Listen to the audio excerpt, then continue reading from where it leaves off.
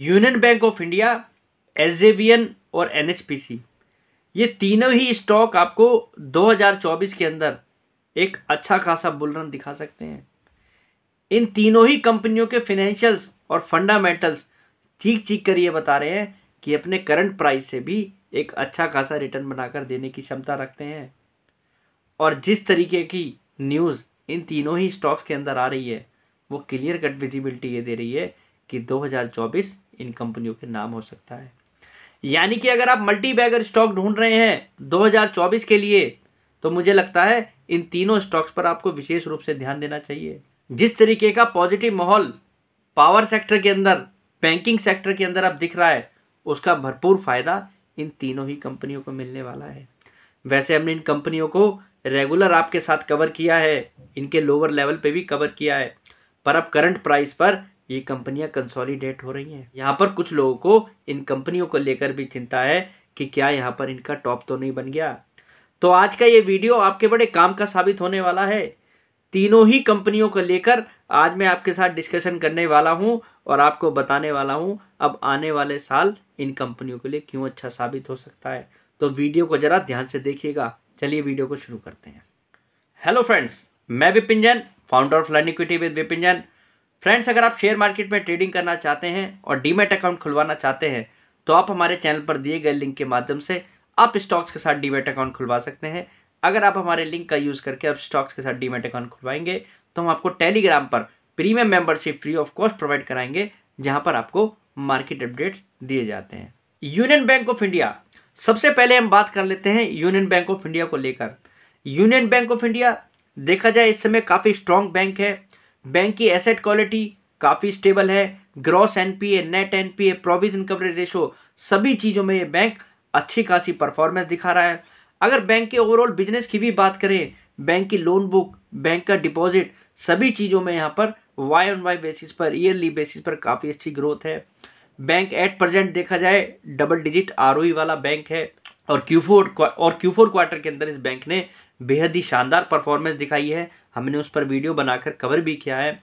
और ये बैंक इस समय देखा जाए, काफ़ी सारी पॉजिटिव न्यूज़ के साथ भरा हुआ है अपनी अर्निंग के आधार पर, अपने फिनेंशियल्स के आधार पर। और बैंक के साथ एक नहीं, अनेक पॉजिटिव न्यूज़ हैं। जैसा कि आप जानते हैं बैंक में एट्टी सेवन रुपीज़ के आसपास भी क्यूआईपी आया था अभी पास्ट में। और उस समय भी इस बैंक के क्यूआईपी में जो इंस्टीट्यूट इन्वेस्टर्स आए थे, उन्होंने इस बैंक के अंदर पार्टिसिपेट किया। उसमें BNP Paribas Morgan Stanley, Bajaj Allianz और एस लाइफ जैसे यहाँ पर इंस्टीट्यूट्स उसके अंदर एंट्री करते हैं। और देखा जाए, उस समय भी बैंक का क्यूआईपी करंट प्राइस से ज़्यादा था। और एक बार फिर इस बैंक का क्यूआईपी आया है। अब गवर्नमेंट इसके अंदर फिर तीन हज़ार करोड़ की यहाँ पर अपनी स्टेक सेल करने जा रही है। और उसका भी शेयर प्राइस अगर आप देखें तो लगभग वन फोर्टी टू रुपीज़ के आसपास है। और यूनियन बैंक का शेयर प्राइस भी लगभग वन फोर्टी टू रुपीज़ के आसपास है। यानी कि देखा जाए इंस्टीट्यूट इस बैंक को लेकर अब इतना पॉजिटिव है कि करंट प्राइस पर भी वो इस शेयर को क्यूआईपी के माध्यम से उठाने के लिए तैयार हैं। और ये लॉन्ग टर्म के लिए काफ़ी पॉजिटिव साबित होने वाला है इस बैंक के लिए। ये बैंक की क्वालिटी को दर्शाता है। अभी लास्ट वीक एम इंडेक्स में भी इस बैंक को शामिल किया गया। उससे भी इस बैंक का वेटेज बढ़ा है। और निश्चित रूप से आप देखिएगा, आने वाले समय में इस बैंक के लिए काफ़ी कुछ पॉजिटिव होने वाला है, वो आपको बैंक के शेयर प्राइस में दिखने वाला है। एक सौ के आसपास की बुक वैल्यू वाला ये बैंक लगभग 1.2 के मल्टीपल पे आज प्रेजेंट भी मिल रहा है। और ये बैंक देखा जाए डबल डिजिट आर वाला बैंक है, लगभग 17 से 18 परसेंट की आर वाला बैंक है।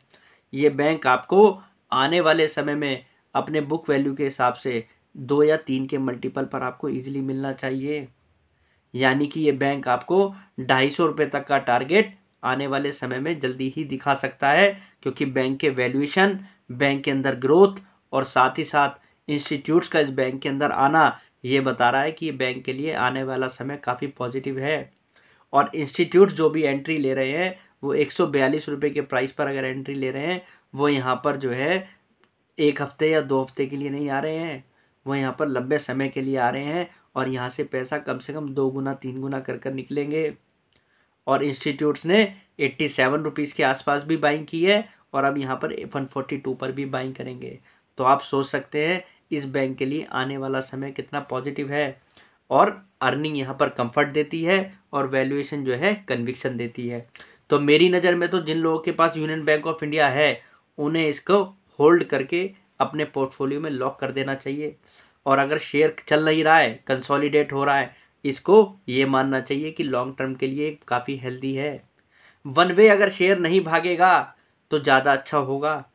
फिर वो आपको अच्छी खासी रैली दिखाएगा, थोड़ा बहुत करेक्ट होगा और फिर तेज़ी दिखाएगा।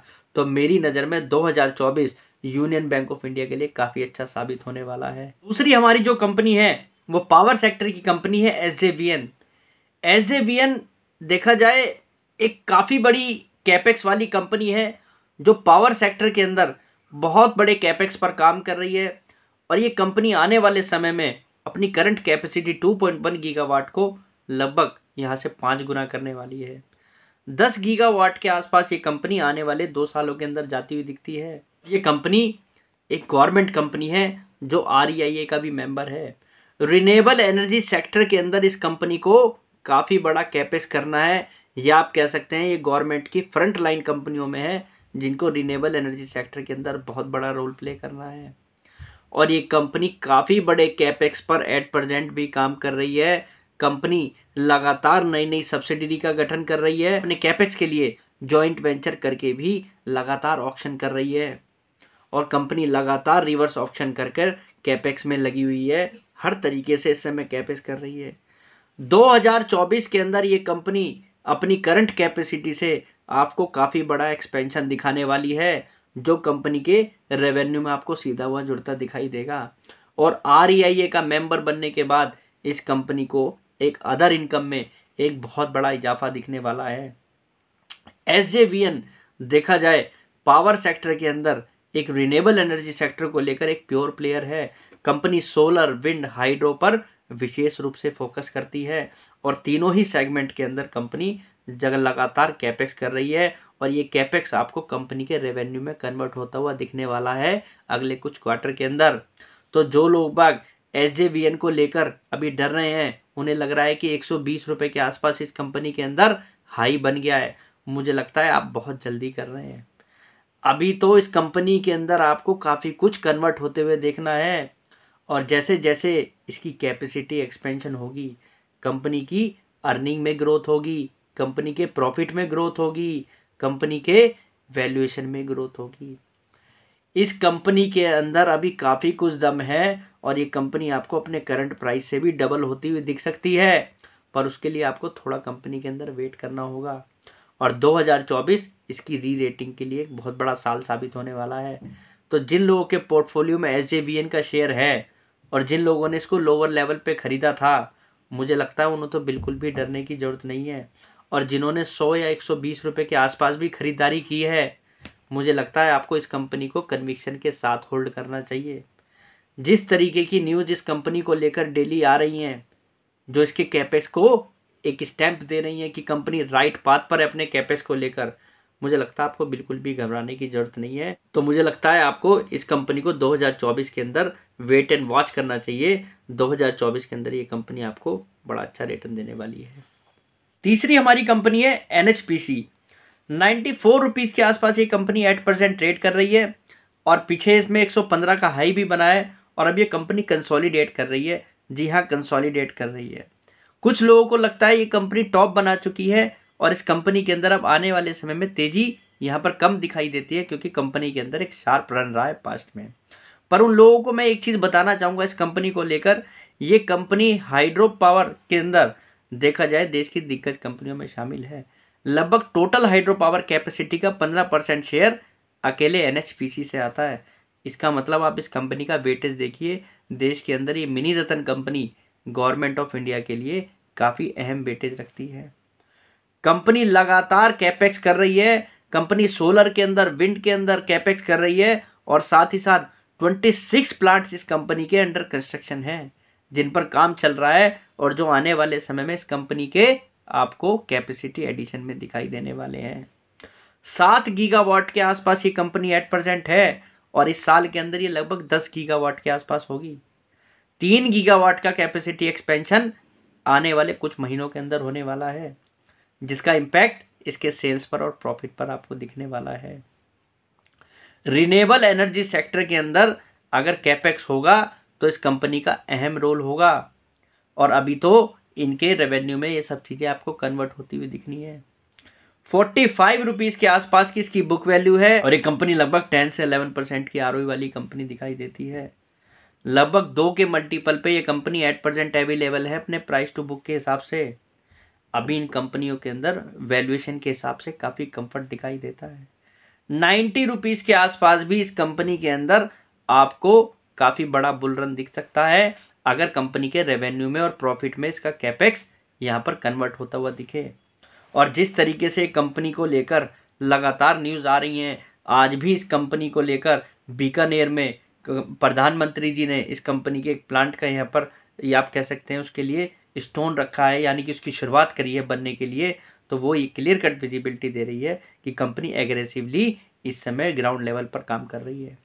तो एनएचपीसी भी जिन लोगों के पोर्टफोलियो में है, आपको लॉन्ग टर्म पोर्टफोलियो के स्टॉक के रूप में इसको काउंट करना चाहिए। ये कंपनी अभी भी सस्ती है अपने वैल्यूएशंस और कैपेक्स के आधार पर। और आने वाले समय में पावर सेक्टर के अंदर आपको बहुत बड़ा कैपेक्स दिखना है, क्योंकि गवर्नमेंट ऑफ़ इंडिया या पावर कैपेसिटी को दोगुना करने वाली है आने वाले पाँच सालों के अंदर। और वो सब ज़्यादातर सरकारी कंपनियों के माध्यम से होना है। तो ये कंपनियाँ आपको लॉन्ग टर्म के हिसाब से सोचनी है, ना कि शॉर्ट टर्म के हिसाब से। थोड़ा बहुत कंसोलिडेशन जो दिख रहा है, ये बड़ा हेल्दी होगा इनके शेयर प्राइस के लिए। और इसके बाद जब इनके अंदर आपको रैली देखने को मिलेगी तो बहुत बड़ी रैली देखने को मिलेगी। एनएचपीसी के अंदर भी करंट प्राइस से दम है डबल होने का, अगर कंपनी का ऐसे ही परफॉर्मेंस रहे। तो मेरी नज़र में N H P C S J V N और यूनियन बैंक ऑफ़ इंडिया, ये तीनों ही ऐसी कंपनियाँ हैं जो स्ट्रॉन्ग फिनेंशियल्स पर हैं स्ट्रॉन्ग फंडामेंटली दिखाई दे रही हैं। कंपनियों के पास कैपेक्स प्लान है पॉजिटिव न्यूज़ है तो तीनों ही कंपनियों के अंदर आपको स्टे होल्ड रहना चाहिए कन्विक्शन के साथ और जब आपके पास कन्विक्शन होगा तो आपका पैसा बनने से कोई नहीं रोक पाएगा। तो उम्मीद करता हूँ आज का ये वीडियो तीनों ही कंपनियों को लेकर आपको कन्विक्शन देगा, आपकी होल्डिंग कैपेसिटी बढ़ाएगा और अगर आप तीनों ही कंपनियों के अंदर इन्वेस्ट करने का सोच रहे हैं तो मुझे लगता है आपको लॉन्ग टर्म व्यू के हिसाब से इनके फंडामेंटल और फाइनेंशियल्स को पढ़कर आपको एक बार इन कंपनियों को लेकर सोचना चाहिए। तो आज के लिए इतना ही। कल फिर मुलाकात करते हैं एक नई वीडियो के साथ। फ़िलहाल के लिए नमस्कार।